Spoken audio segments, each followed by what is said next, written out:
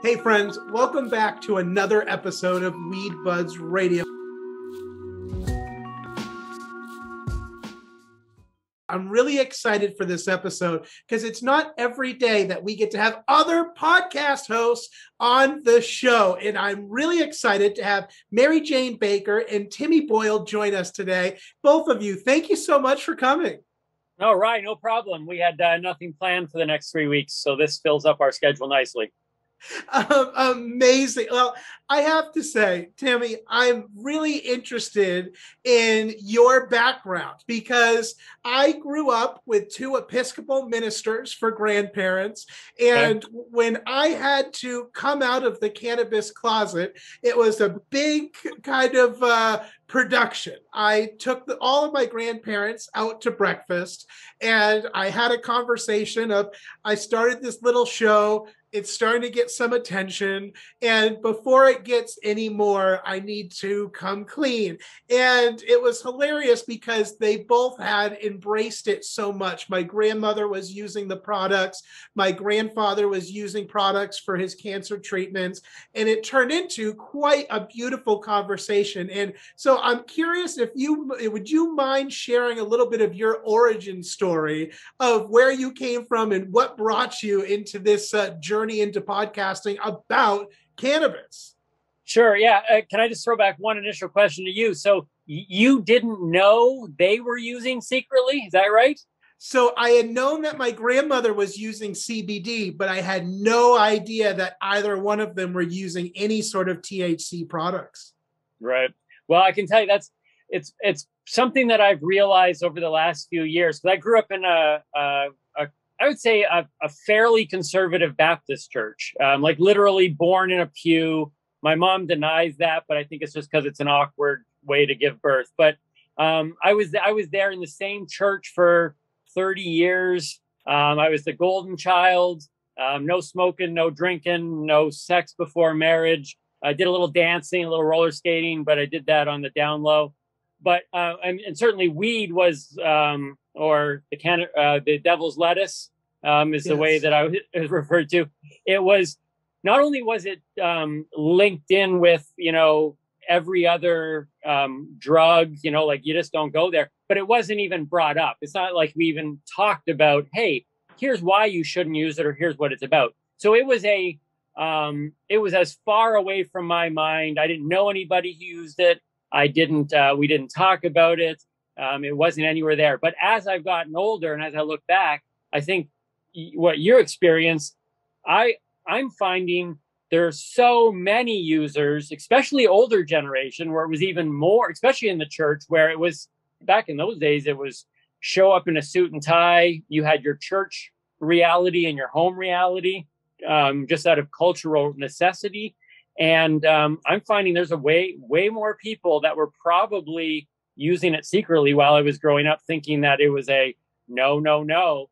And nope, but because no one talked about it, um, everybody just kept it hidden. And I think that's an incredible shame. So I'm coming into this world completely and utterly blind. Um, and I wouldn't be here right now, I don't think, with, without meeting Marijane. Mary Jane opened up that door. Um, but uh, very conservative roots.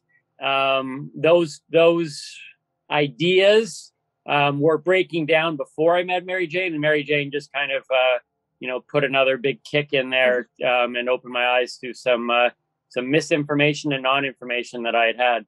Sure. And now, Marijane, I let same question. You know, what was your first experience? What was your origin story with cannabis?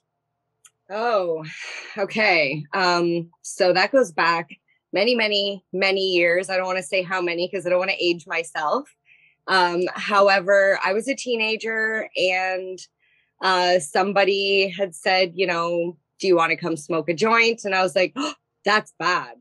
That's that's like that's weed. That's marijuana. I'm not going to do that. And um, I actually went home and I had a discussion with my dad because we were very open, very honest, and um, I knew he consumed from when I was younger because in school they teach you like Timmy is saying, cannabis is lumped in with cocaine and heroin and all the other nasty drugs.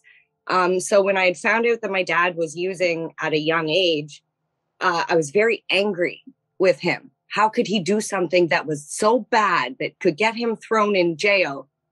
And when he explained it to me that it was like alcohol, I kind of had a different perception. I was like, okay, if people can drink and still function, then it would be okay. So he lived by the it's not what you do, it's what you do when you do what you do mm-hmm. method. So when I went to him as a teenager and we had the discussion about cannabis, he said, I'll tell you what, you want to try it? We'll try it together in a safe environment so you know what you're getting. You don't have to get it from who knows, you know, where or God knows what. Um, and it that that was my door into cannabis. Um, which is funny because when my mom found out that I, I had smoked with my dad, she got mad, told me, get in the car. I was like, oh my God, what's going on? Where are we going? She drives down a dirt road, pulls over, says, pass me the pack of smokes from under the seat. And I'm like shaking. I have no idea. I'm like 16 years old, no idea what's going on. Reach under the seat, pass her the pack of cigarettes.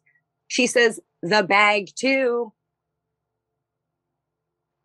So I reached under the seat and I pulled out a bag of weed. And my, the look on my face as I looked at my mom, who had flipped over the pack of smokes to reveal it was a pipe. She made a pipe out of a pack of smokes. She was like, Well, give it to me. And I was like, So it was the realization that everybody that I know might just actually be consuming cannabis and I might not know it. Wow. You know, and my dad was like, doctors, lawyers, teachers, they, you know, they do it, but they can't say that they do it. So I was always like confused as to how something that made me feel so good could be illegal and be wrong. Sure. So that that was my entrance, we'll say, into cannabis was amazing. It was well, guided. Well, and I that's I think a really powerful way to be introduced to cannabis. I was sharing a little while back my my first experience. Uh, I was lucky to have such good friends around me because I was listening to my heartbeat, and uh, you know it was it was just surreal. It was not something that I grew up with either, and being surrounded by the right people, and I think making you feel safe makes all of the difference. And I'm curious, you know, Timmy, you know, growing up uh, in the background that you did with the church. I mean, do you do you consume cannabis today? No, no, I don't actually, which surprises uh, a lot of people. Not only are we doing the podcast, the newbie and the doobie together, because me still remaining the doobie or the newbie, which actually, if strictly from business standpoint, if I ever started to consume, there goes our name. What's the point? What's the point of the newbie and the doobie? So I, you know like, i'd have to try something new. Even if i wanted to try now we're locked into this long term so uh, you know i can't lose the designation or we got to change our whole our name and branding and that's just too much money and effort. So um, you did try it though. I did try i did try it. So um, i got into this phase of life where i was like um, i want to try new things. I had i had you know broken free from a lot of the stigmas that have been set up through through a deeply religious growing up and like I said, a lot of those stigmas and, and misinformation and non-information, I don't even think most of it was um, this intentional like thing of like don't. It was just um, it was just non-existent. It was almost it, it's it's it was so not in the thing. It, it was just non-existent. And so I don't blame anybody necessarily for that, but I realized that there were these thought processes in my head. Some of it pop culture driven. Um, you, you know, you there's a very very clear perception of what a stoner is and what we would do to somebody. Pop culture has probably done a disservice um, to the cannabis consuming uh, world um, based on how those who don't smoke perceive it. But I was willing to try new things. I'd come into a new, new stage of life, and it was right before kind of I had I had met Marijane and so she, when she heard that I had never ever consumed cannabis, I believe her words were, "Enter Marijane." She could she couldn't believe it. She jumped right in. So she set me up with my my very first smoking joint experience which I was severely disappointed at because I had seen all the movies and and stuff and and I felt nothing and I was like well why am I trying something that gives me nothing like so that that was a it was a downer for me. And so she said well that's okay. I, I gave you a really low dose. So she she gave me a second one. Uh, we we went on a bowling date and she upped my THC this is this is stuff I'm learning in hindsight. This is what she did. She upped my THC and I'm a good bowler like 300 bowler a few times in five pin. Like I I I I take my bowling game serious, and my bowling game dramatically fell. And I realized right then and there, it's like, look, some things aren't worth risking. So I was already on my way out of the cannabis smoking world at that point. I'm like, I can't have my bowling game drop. And so I try, th- I always try things in threes. Three is an important number to me. I always feel that you need to watch a TV show three episodes in, listen to a podcast three episodes in, try to get a feel for what's going on. So I tried it a third time. We were sitting down um, at her house, and whatever she gave me made me blank out multiple times through our conversation. It was and, it was about 25, 26% THC. Which apparently now I found out is incredibly high for for especially a, a, a newbie. And I um being a cerebral person and somebody who grew up not just religiously but just in my own my own life always wanting to be of sound mind i was very i was very like intellectually cerebral based and the fact that i couldn't keep track of this conversation uh, freaked me out and i didn't like the feeling of not of being disconnected like that and so that was my last time so it was three times over a span of i don't know a couple weeks or whatever and then i uh, i handed it all over and said i've been there done that but i'd still like to talk about it so yeah. I just want to add the time that we went bowling, uh, he said it was the second time that he consumed, which is true. But because he felt nothing the first time, he smoked two joints in oh. a row, in a row before going bowling, which is probably mm-hmm. why he felt the way he did. And when you smoke the 25, 26% THC, I put on a movie, which is the appropriate thing to do when you smoke that high THC and just chill and watch the movie. But of course, me being me, I started doing this. And you can't talk to somebody who's that high when all they want it, they need to just chill and relax. So I kind of set them up for a, a poor experience on that one. So well, and Marijane, I know that you have much more experience with cannabis than Timmy does. Yes. How do, how does cannabis play a uh, role in your life today? Okay, um, I would say cannabis is what gets me through every day. Um, I I've learned to um, to use it instead of letting it use me because there are times when I just want to smoke a joint for the sake of smoking a joint but then there are other times that I need to smoke a joint because my my of my anxiety levels or whatnot. So um yeah cannabis is pretty much in anything and everything that I do whether I'm eating it or you know I like to make bath salts and infuse my bath salts and I've even painted with it and like cannabis oil and yeah. No, you painted with cannabis. Yes. So um, I do um, a type of painting that's called paint pouring. Um, it's where you take the paint and you put it in a cup and basically you just like dump it all over a canvas and it does this amazing stuff. Um, but you can add a little bit of cannabis oil, uh, the MCT oil, into the actual paint and mix it up, and it'll give you these nice cells, nice big globs. It's it's beautiful. That's really cool. I can't wait to see an image of that. Oh, that's good. I should probably have one around here somewhere. well, I'm curious, what is it like for both of you? I feel like talking to different couples all of the time, either neither one smokes or consumes in any way, or both of them consume. What is it like being a newbie and a doobie? Uh, what? It, how how does that work? So so I foolishly thought that when we met, I was like, oh, this is gonna be fun. I'm gonna introduce him to cannabis and you know, Bob's your uncle. I'm gonna have a cannabis consuming partner. And I don't uh, even know a Bob. He's your uncle. And lo, and, lo, and behold, um, I mean, he he doesn't consume, right. which I'm not really complaining about because That just means there's more for me and I don't have to share. but um I'm like a cannabis smoker's dream, right? It's Yeah. like, wait, I don't have to share anything with you? Yep. Exactly. and I've always I've always got a driver, Yeah. right? You can always take me anywhere I want to go. Pizza, one in the morning. No. Well, is is it is it hard at all? Are there any challenges? Because I know like some couples, I they hate the smell of it or whatnot. And Timmy, Yeah. like you you seem like it doesn't really phase you, and you host a podcast show about it. Yeah, you know, um, I, I think what I've discovered is is how incredibly rare, and like I say, discovering is kind of a um, a journey thing as opposed to a light went on thing.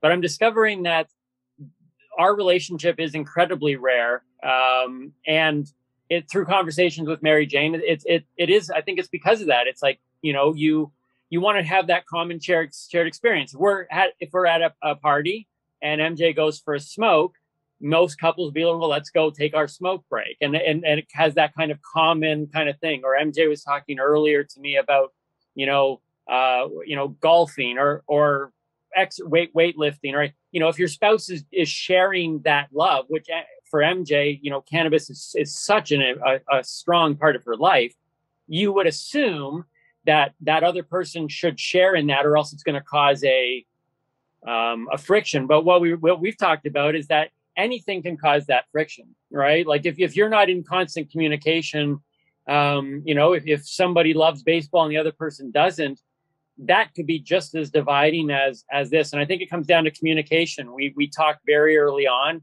um, you know, that uh, yeah, I was willing to try it.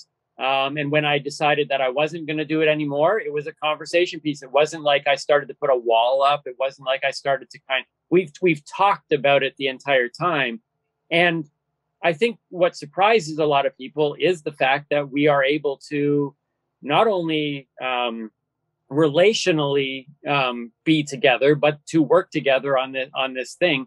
And I actually think it's those differences that that have become a strength as opposed to a weakness. And some people would think that it might be the other way around. I can honestly tell you that it it's still if we're sitting down and for some reason it's kind of like it's kind of like you know when you're playing a board game and it's one small spot in the entire floor, but your cat finds the board game to go lie on.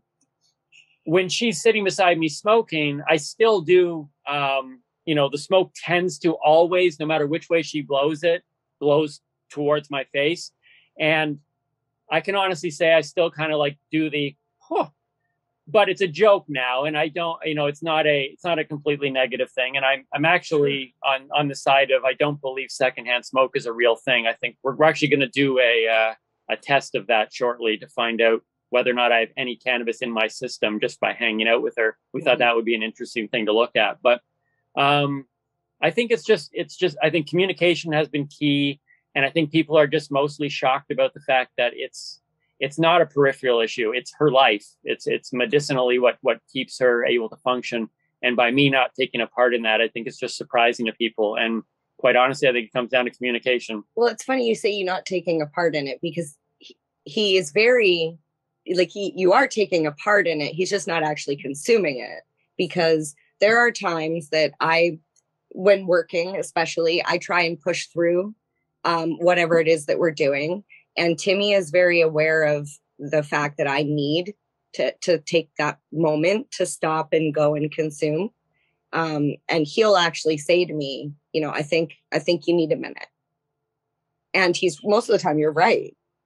It's just it's it's something that when you communicate, and even if it's something that your partner may not agree with, if you're honest and the other person's compassionate, there should be a way that you can communicate a resolve for like the both of mm-hmm. you.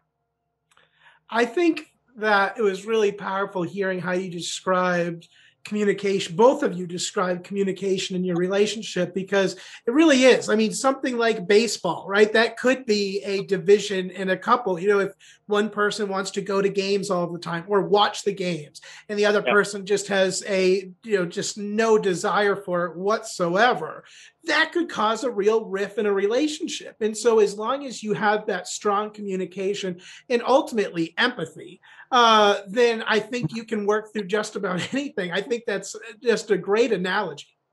Well, one of the, one of the struggles that we we have had, I guess, and mainly, mind you, we've been learning about each other throughout this whole process. But me just understanding that she needs those breaks. Like when I when I plan to do an event as a touring comedian, um, we we get up. Sometimes we're, we're up on the road at five. We're driving to a venue, getting there at one, setting things up. You know, performing at seven, tearing down. You know, on the road at eleven to a hotel, up at five in the morning. We we li- I live in this just you just go world, and the concept of of her needing to prepare for even a night out, let alone you know a ten day tour, and realizing that she doesn't just need them. I guess my mindset previously would have been oh, just like don't worry about it. Just smoke it later. It's, like yeah, you don't it's need only, it. It's only a three hour drive. Just wait till you get there. and now that I've Mm. come to realize that she actually needs it, like medicinally, just like I used to, I used to have to take a Tylenol before every show because I would get these neck strains, which has been um, gone ever since I've taken taken yoga. These are yoga shoulders, by the way. I recommend it for everybody. But um, I think that that's been a big struggle for me. Has just been learning that I need to pace my day a little bit slower. So even on podcast shooting days, we record four episodes currently in one day, um, just due to our our our way we can make it work.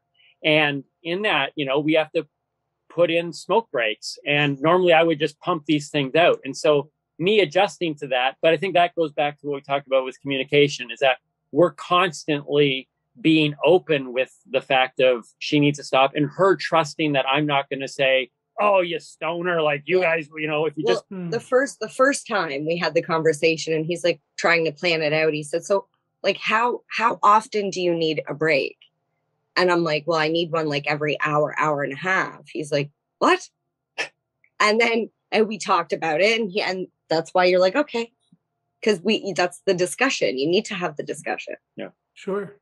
Yeah. Now, tell me about the show. I'm excited to learn. So, you have these two different backgrounds, you have these two different individuals. Tell me how you came together and why you decided to put a show together.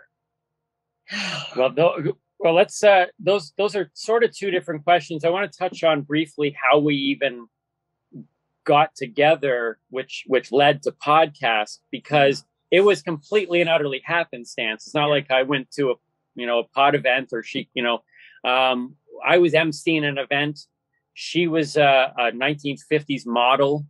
it was it was a charity um, thing that we were doing we were raising money for a, a pet organization in the town that i live in and um, i had done this this was my second year in a row and the first year i did it um, i kind of like blacked out when i was on stage i don't know what happened my son said what happened up there I said, i have no idea I, I have photos of me posing and smiling but i don't remember any of it so um, I was determined to get over my stage fright for the following year, which was the year I ended up meeting Timmy, because um, I decided I was going to make up this ruse about carrying these green infused cookies. And I needed a police officer to come and bust me the cookies.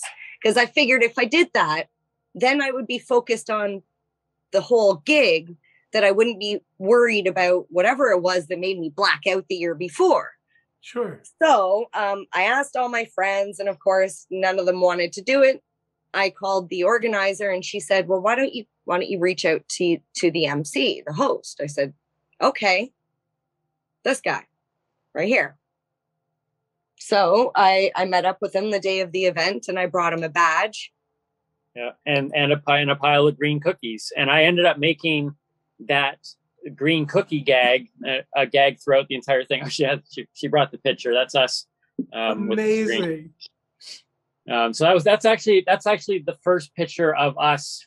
We weren't together, Mhm. but that's the first picture of us meeting. That Mhm. so we actually have we actually have a, a documentation of the first time we actually met each other. Um, and as you can see, it's framed, so it, it's It's special. It's special. It is. Um, It's a very great photo. but we uh but yeah so I we played into the cookie thing and I kept eating these cookies and pretending that I was I was uh getting a little get a little high off it I was just as a comedian I I, I saw this as a an incredibly good angle Mhm. to to take this thing with and from there we just started to communicate um, online, and it was it was I think it was it was just one of those crazy moments where the differences um, there was you know opposites attract i don't know whatever how I, I call it energy because i knew from the first time i met him there was something something. I think i even told him i could read palms just because i was like i can read your palm and he he put his hand in my hand and no word of a lie. When i said this is your lifeline i felt chills. Mm-hmm. chills and i was like now imagine imagine also, you know, 30 plus years of conservative Christianity. Not only is she smoking weed, but she's saying I can read your palm. I'm like, you're you're absolutely nuts. But she was super cute. So I continued the the the going forward. But from that, the podcast flowed fairly naturally um, because we saw right away there was a creative synergy. Um, our our our humor is very very different. I'm more of a dry wit. She's kind of a really kind of uh, wild and crazy. I mean, outfits speak a whole lot in this regard. Um, but I can go that route, and she can come. My so we had these kind of these crossover humors. So we created this TikTok, which is uh, which was launched silently.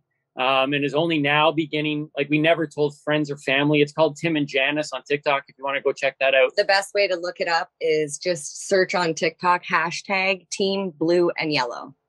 And so we uh, we start we made it secretly though because our relationship was still secret um, due to a whole lot of factors, and our um, it gave us a chance to test our creative how we could work together without any pressure because we could just create these characters without anybody from our friends and fam- my fans didn't know about it. There was no added pressure. It was all supposed to be organic and allow us to see can we work together? Does, does is that part of our relationship as well and that that really did well. Organically it did incredibly well and encouraged us. We saw we were able to test our own working patterns and habits um, how we can film a bunch of videos and get smoke breaks you know all those type of things. And then from there it was just like what else do we do? Like what what is the thing? And we have so many things we want to talk about. We're both talkers. We both love talking. We could go conspiracy. We, we could go 1980s we could you know go 90s, down 90s we, we thought we were going to do an 80s 90s podcast um, and then we realized that there was this void uh, in the cannabis space where almost from an outsider, all, and I haven't heard and seen, I don't even know what your podcast is really about. But my perception is, is that it seemed like everything we came across was cannabis people talking to cannabis people, talking about things that the cannabis listeners most of the time already know. So questions weren't being asked of guests that seemed like obvious questions. Whereas I realized that I was asking questions that, and she was like going, Oh, you know, I, I, have to look into that again. It's like remind, refreshing kind of as a long-time cannabis user like, oh, going back to basics almost and seeing, she started to see the value in that. And we realized that, you know, what about, what about a show where it literally is from both sides, where a cannabis user is talking to a non-cannabis user. And it's not like a, you know, I'm anti and she's pro. We're both going to be pro, but I'm going to be able to ask questions that a cannabis user wouldn't ask another cannabis user. And we've already seen um, people who watch our show, and we do suggest watching. We are on audio as well, but um, we almost produce what we would say is a TV show that happens to be in a podcast studio. So if you can catch it on YouTube, we would we would I think we actually hold the world record for most umbrellas opened in a podcast studio. We do. We, we broke that record a couple times ago. um, so the podcast became this place for us to go. That's something that we are both interested in. I'm interested in having the conversation. She's obviously interested in teaching and and you know giving the proper information. And we saw that it was a, it was a void. And we I think by the feedback we're getting we're filling that void. We've had people from both sides, um, cannabis users saying, wow, this is, is entertaining. It's being presented in a different way. Uh, we're really enjoying this. And we've had non cannabis users watching our show mm-hmm. because they have, they may not use it, but they have kids that use it, or they have elderly parents who use it, or they're thinking about using it but are scared because they don't they don't know. It's the disinformation. Yeah. years ago. So it's just uh, we're really proud we're really proud of it. We're just trying to be unique and being us. And i think i think there's a certain energy that we have that that seems to work that people seem to enjoy. And we're talking about a serious issue in a in a creative lighthearted unique way. Well, my favorite uh, my favorite comment that somebody said about us was um, even Ray Charles would see how well we work together. I love that. Well, and I can tell from you two being on here, for the audience tuned in now, what is the best way for them to watch your show and to tune in? Well, everything. I think if you we if we did it right, um, if you just go at the newbie and the doobie um, on any on anything, we're we're there. So YouTube, um, it's the Noobie and the doobie. Uh, then we have the podcast as well, which I think you just search it in any of the um, podcatchers. podcatchers. Uh, Facebook and Instagram is the Noobie and the doobie. I think we we had to change it to Timmy and MJ on TikTok because this is one thing that I found too. Maybe you guys have in terms of promoting what you do we had four accounts under the Noobie and the doobie, all written up different ways and and trying it's, to think. It's the word doobie, and we were getting uh, we were getting shadow banned immediately, like like zero views, like yeah. like nothing was coming in on anything. So now on TikTok we're just Timmy and MJ, yeah. and we're starting to get a little bit on there. But it's amazing to me. Um, something I've learned in this so far doing this podcast is how no wonder there's so much misinformation out there because you're not even allowed to really promote or talk about it in the online space. Um, Something that's legal yeah. in our own country. So that bothers me as an entertainer and as someone who wants to talk about it when I discovered how hard it was for us to get a TikTok account with the Noobie and the doobie name attached to it. It is. I remember when we first started with Instagram, we had like three accounts banned within the first week. So yeah. it's uh it's been a challenge and I am just so grateful to both of you for joining WeedBudz Radio. I'm excited to tune in to more of the Noobie and the doobie available everywhere and yep. on YouTube as well, right? YouTube, yeah, YouTube, we would recommend it. You can listen to it on your earphones going for a jog, and we think it's still funny and entertaining and informational. I call it edutainment. I'm sure maybe you've, you've heard that word. But um, like I said, for, for the full experience, you're we, not you're not going to see this. Yeah, not going to see the giraffe. We no. had we had towel day where we both we we we were in towels the entire Actually, day. we had Jackie Childs on on towel day, and she joined in. Yeah, that was great. So That's there's things that you there's things that you can't see through your ears. Well, I hope everyone will go onto YouTube, check us out, check out the Noobie and the doobie. Is so grateful to all of you for tuning in, and be sure to head over to our show notes on weedbudzradio.com, and that way all of the links to connect with Timmy and Marijane will be there. I thank you both so much again for joining me. Thank no, thank you, you so much, Ry. We really appreciate it. We will see you all in the next episode.